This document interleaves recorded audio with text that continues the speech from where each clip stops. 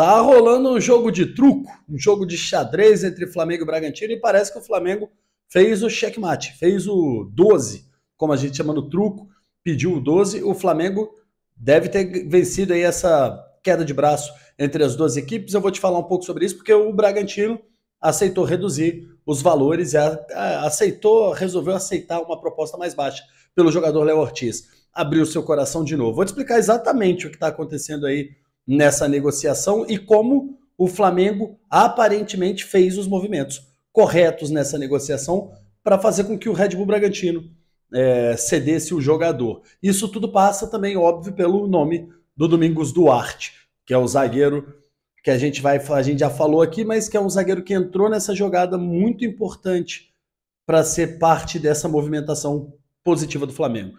Antes de qualquer coisa, dá o like muito rápido, se inscreve no canal e ativa o sininho. Vamos embora. Olha, o Domingos Duarte foi uma peça fundamental. O Flamengo entendeu qual é, qual é, a função do Red Bull Bragantino, entendeu qual é o estilo de trabalho do Red Bull Bragantino. O Bragantino é um clube que existe para fazer dinheiro, é um clube que existe para ganhar, para lucrar.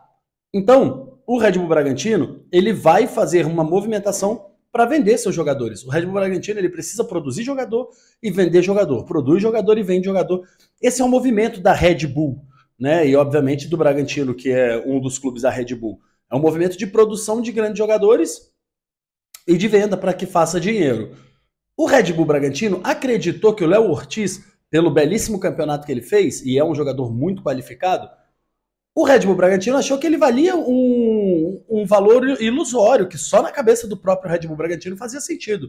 Na cabeça de nenhuma outra pessoa, os valores pedidos pelo Red Bull faziam. tinham lógica, tinham senso na normalidade. Por isso, o Flamengo se afastou da negociação e disse: olha, por esse valor eu não vou pagar. O Flamengo sabia que o Red Bull continua querendo negociar. O atleta já tinha dado o okay para o Flamengo, o atleta já tinha dito que quer ficar é, que quer jogar no rubro-negro carioca. Sendo assim, você ia ter um, você ia devolver para o Red Bull Bragantino ali, ia jogar aquele jogador insatisfeito, ia deixar aquele cara insatisfeito lá e um clube também insatisfeito porque não negociou. E aí veio a movimentação de todo o mercado, janelas abertas e ninguém falou em Léo Ortiz. Ninguém procurou o Red Bull Bragantino para fazer uma oferta dentro do universo que o Red Bull acreditava que podia conseguir. Quando o Red Bull viu isso, falou: pô, agora não tem uma proposta do Flamengo, não tem o jogador, porque o jogador está infeliz, está insatisfeito, está no banco de cara amarrada. O Léo Ortiz está de cara amarrada, todo mundo está vendo, treinou de cara amarrada. Primeiro ficou à parte, depois foi para o grupo, não está afim de estar tá ali. O Red Bull Bragantino, por sua vez, queria vender, achou que ia ter uma proposta X, não teve. E ficou, o Red Bull ficou amarrando, porque falou assim, cara, eu vou ganhar o Flamengo. O Flamengo vai, vai voltar aqui e vai aumentar essa pedida. E o Flamengo foi inteligentíssimo e disse: é isso? É isso. Então tá bom, então a gente vai para outra opção. E o Flamengo foi para a Europa para fechar o Matias Vinha, para olhar o Luiz Henrique, para outros motivos. Ontem a gente até falou sobre o Almusrati. Mas dentro desse desenho todo, o que, que o Flamengo fez e fez questão de divulgar em overdose? Começou a sondar zagueiro e falou: a gente deu ok pro, a gente deu o ok pro Bragantino, falou que queria, eles não quiseram, acabou a negociação, estamos fora. O Flamengo não vai subir a pedida e, e que pena, valeu. Numa outra a gente tenta trazer aí o Léo Ortiz, um outro ano, outra vida, quem sabe. Cara, o Flamengo se afasta, o Red Bull já fica assim, ó, no jogo de truco que eu te falei, naquele jogo é, entre dois lados, o Red Bull já fica assim, ferrou, ferrou, mas tudo bem, o Flamengo não vai trazer, o Flamengo tá blefando. E aí quando o Flamengo avança nas negociações com o zagueiro Domingos Duarte, o Red Bull Bragantino vira e fala: ferrou, os caras vão trazer um outro zagueiro e eu realmente vou morrer com o Léo Ortiz aqui. Não vou ganhar dinheiro, não vou fazer a grana que eu preciso fazer e ainda vou ficar com o jogador que não quer estar aqui. Movimento estratégico e dessa vez corretíssimo da diretoria é, dos gestores de futebol do Flamengo. Dessa vez é o Flamengo que está dando a cartada, dessa vez é o Flamengo que está pedindo o 12 no truco, é o Flamengo que está acabando com o jogo, falando assim, cara, a gente não vai mexer e estamos fechando com o Domingos Duarte. Um parênteses aqui, tá, gente? É, o Domingos Duarte, ele tá tendo essa negociação, tá tendo esse avanço com o Flamengo, mas o Flamengo sempre quis o Léo Ortiz. O Domingos Duarte, para mim, é, é, um, é, um, jogador que, cara, teria que vir para cá para provar que o Pablo Mari não era exceção à regra. Que tudo que a gente fala assim, olha, o Domingos Duarte é um reserva do Getafe.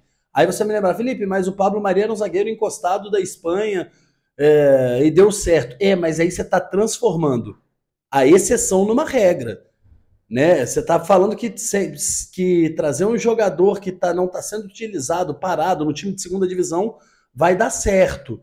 Você está querendo me dizer que a exceção vai ser regra, e não é. Por isso que chama exceção. Tá? Por isso que se chama exceção. Então, o, o, o zagueiro Domingos Duarte, para mim, está sendo muito mais uma peça de jogo do tabuleiro de xadrez do Flamengo do que, de fato, uma contratação que faria sentido. Felipe, de novo, mas o Pablo Mari funcionou. E de novo eu te respondo. Então vamos contratar só zagueiro da segunda divisão. É isso, então vamos trazer só jogador, vamos trazer só jogador da segunda divisão. Vamos embora, vamos trazer só jogador da segunda divisão. Vai funcionar? Não vai. Nicolás Dela Cruz era ponta da, da, da América do Sul. O que vai funcionar é jogador bom. Então, tem que ter muito cuidado para que a gente não use sempre o exemplo do Pablo Mari se apegando ao fato de que aquilo vai funcionar. O, o próprio Pablo Mari, desde que saiu do Flamengo, nunca mais funcionou. Desde que saiu do Flamengo, nunca mais deu certo. O próprio Pablo Mari. Então, tem que ter muito cuidado com essas negociações de jogador de segundo escalão, usando a referência do Pablo, ok? Só isso que eu quero deixar claro para vocês. E voltando para cá, Flamengo está se movimentando bem, está sendo estratégico nesse jogo, tá com a carta na mão, pediu o 12 e agora vai colar a carta na testa do Red Bull Bragantino, porque o Red Bull Bragantino aceitou reduzir a proposta. Afinal de contas, precisa vender, precisa se, se desfazer do jogador infeliz, precisa se movimentar no mercado e ninguém quis. Só o Flamengo. O Flamengo vai manter o valor e vai trazer o Léo Ortiz.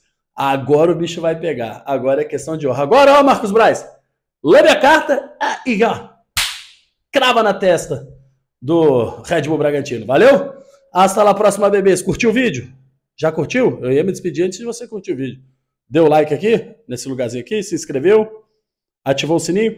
Agora manda esse vídeo para os seus grupos de WhatsApp, não custa nada, é de graça. É de graça, é só você pegar o link e botar nos grupos. Agora sim, hasta lá próxima vez, porque eu fui. Tchau.